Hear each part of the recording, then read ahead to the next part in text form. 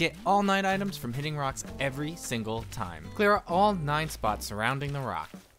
Stand in one of the four corner spots and dig a hole facing away from the rock. Then dig a second one 90 degrees in the other direction still facing away from the rock. Stand between these two holes when you hit the rock and you won't get pushed back every time you make contact. Now do this for every rock on your island. Thanks, subscribe for more and check out a review or a let's play on our channel.